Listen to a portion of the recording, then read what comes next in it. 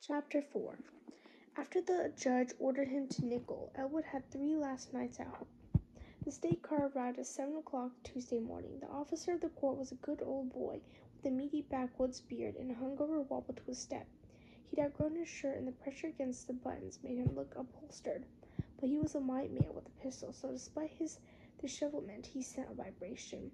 Along the street, men watched from porches and smoked and gripped the railings as if afraid of falling overboard. The neighbors peeked through their windows for a view, connecting the scene to events from years before, when a boy or a man was taken away, and he was not someone who lived across the street, but Ken, brother, son. The officer tossed a toothpick around in his mouth when he talked, which was not often. He handcuffed Elwood to a metal bar, then ran behind the front seat and didn't speak for two hundred and seventy-five miles. They got down to Tampa, and five minutes later, the officer was in a fight with a clerk at the jail. There had been a mistake. All three boys were headed for Nickel Academy, and the colored boy was supposed to be picked up last, not first. Tallahassee was only a far an hour away from the school after all. Didn't he think it strange that he was driving the boy up and down the state like a yo-yo? The clerk asked. At this point, his face was red. I just read what's on the paper, the officer said. It's alphabetical, the clerk said. Elwood rubbed at the mark of the cuffs cut into his wrists and could have sworn the bench in the waiting room was a church pew. It was the same shape. Half an hour later, they were on the road again. Franklin T. and Bill Y. alphabetically distant and temperamentally even farther. Elwood took the two white boys next to him for rough characters from the first scout. Franklin T. had the most freckled face he ever seen, with a deep suntan and crew-cut red hair. He had a downcast look, head sunk staring at his toes, but when he lifted his eyes to other people, they were invariably wrestled with fury. Bill Y's eyes, for their part, had been punched black, purple, and lurid. His lips were puffed and scrapped and scabbed.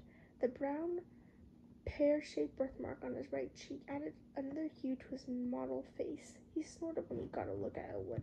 Whenever their legs touched on the drive, Bill pulled back as he was leaning against a hot chimney stove. Whatever their life stories were, whatever they'd done to get sent to Nickel, the boys were chained together in the same fashion and headed to the same destination. Franklin and Bill exchanged notes for after a while. This was Franklin's second visit to Nickel. The first time was being recalcitrant. He was back for a truancy. He got looking for eyeballing the wife of one of the house fathers. But other than that, the place was decent, he supposed. Anyway, for a stepfather at least. Bill was raised by his sister and fell in with a bunch of bad apples, as the judge put it.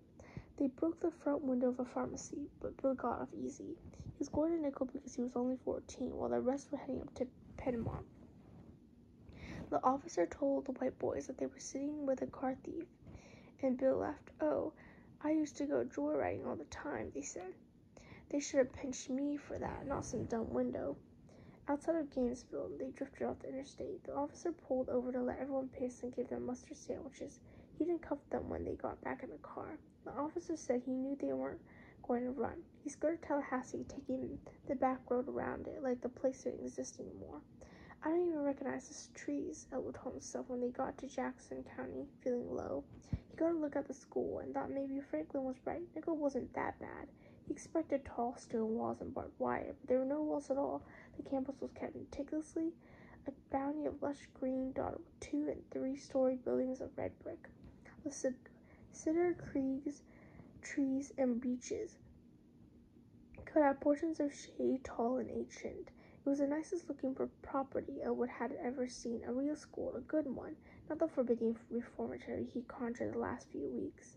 In a sad joke, intersected with the visions of Melvin Griggs Technical, minus a few statues and columns. They drove up the long road to the main administration building, and Elwood caught sign of a football field where some boy scrimmaging yelped.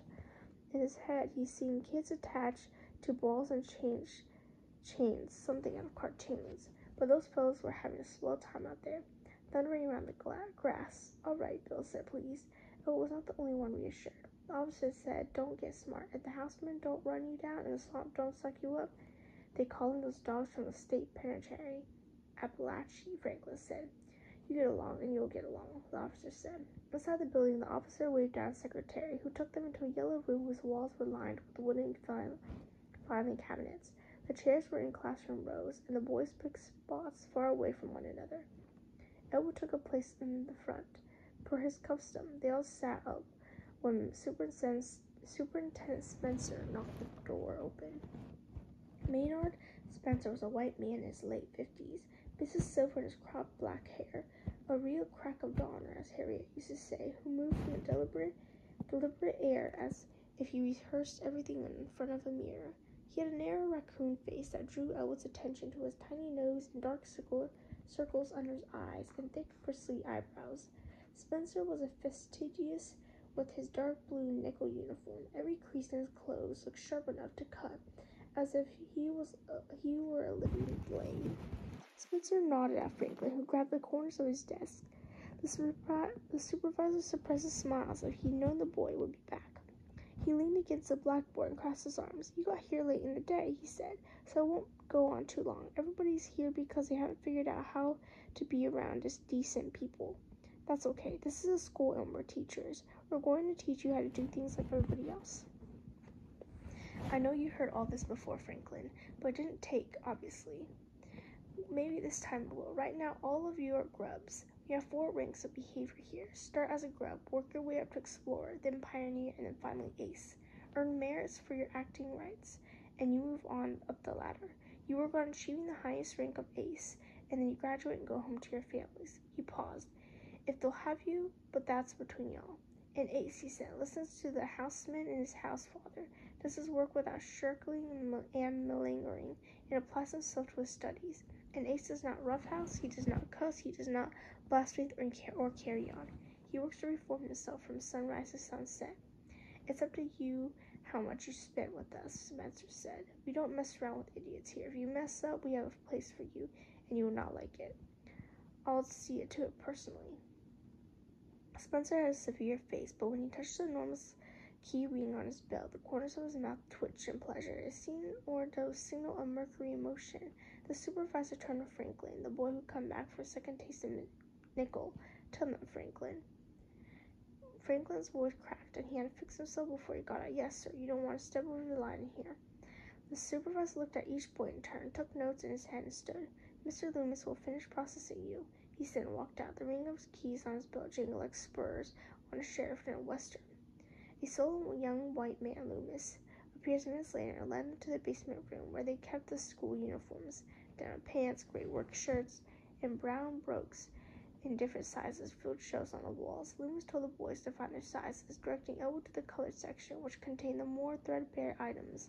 They changed item changed into their new clothes Elwood folded his shirt and dungarees and put them into the canvas sack he brought from home. He had two sweaters in the bag and a suit from the emancipation play for church. Franklin and Bill hadn't brought anything along with them. Elwood tried not to stare at the marks on the other boys' bodies as they dressed. Both of them had long, lumpy lines of scars, what looked like burn marks.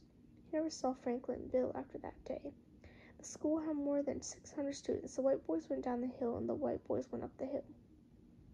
Back in the intake room, the boys waited for their house fathers to fetch them.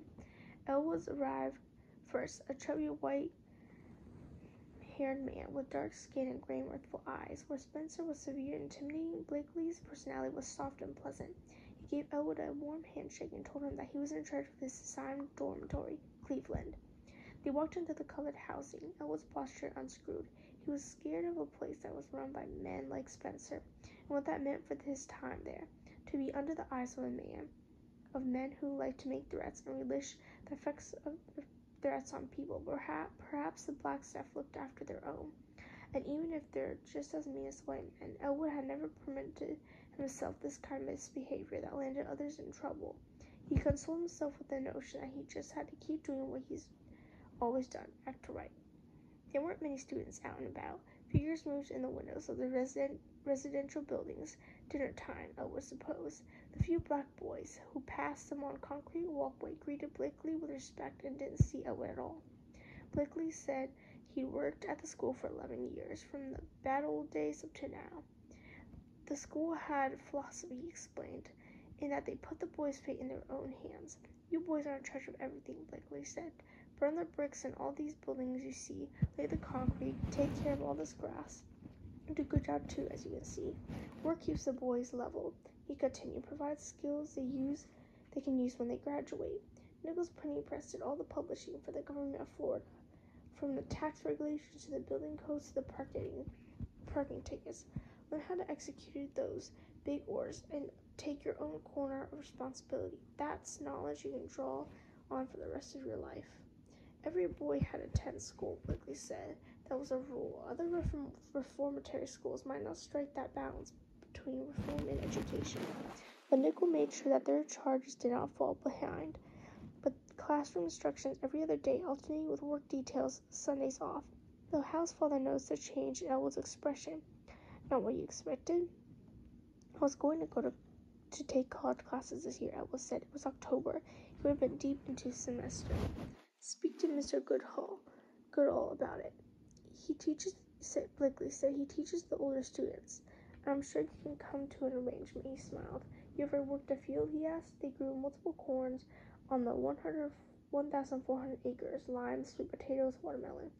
I came up on a farm, Blakely said. A lot of these kids, it's their first time taking care of anything. Yes, sir, Elwood said. There was a tag or something in his shirt. Kept sticking him in the neck. Blakely stopped. He said, You know when they say, Yes, sir, which is, You'll be okay, son. He was familiar with Elwood's situation. His intonation swallowed the word in euphemism. A lot of boys here, they got in over their heads. This is an opportunity to take stock and get your head right.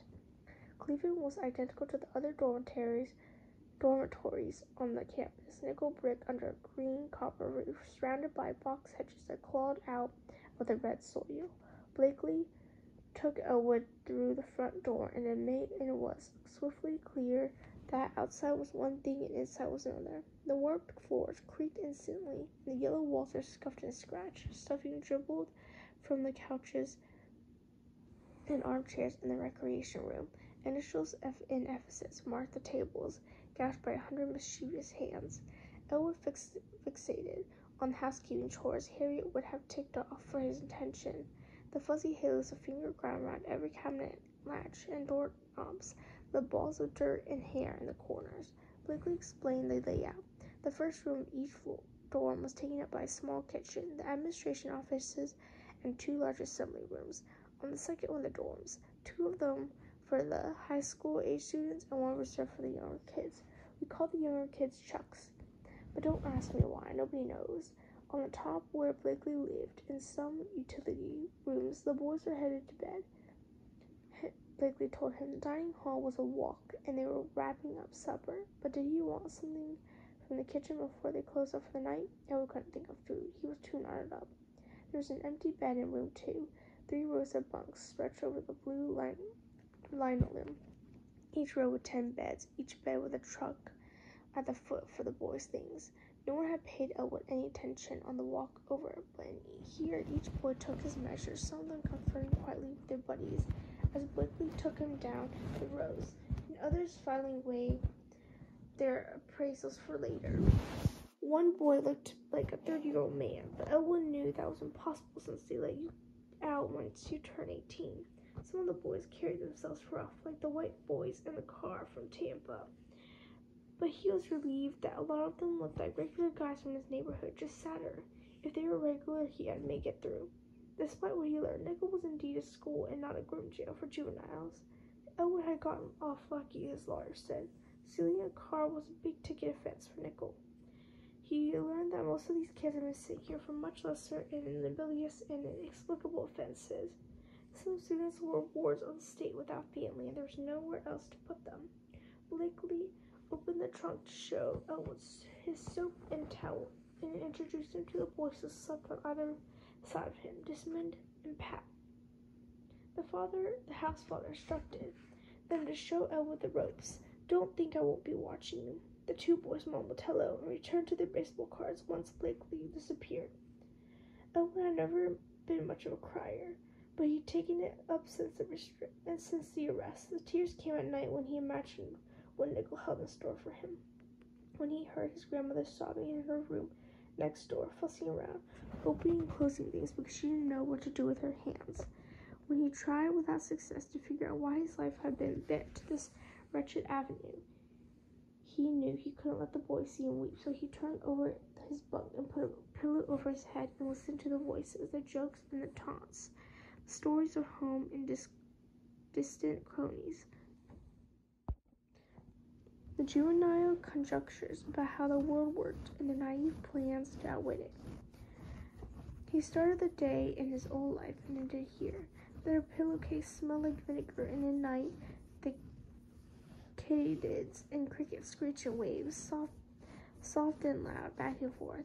Bill was asleep when a different roar commanded. It came from outside, a rush and a whoosh without variation, forbidding a mechanical, granting no clue to his original. He did come which book he picked it up from, but the voice came to him torrential. A voice across the room said, Somebody's going out for ice cream, and a few boys snickered.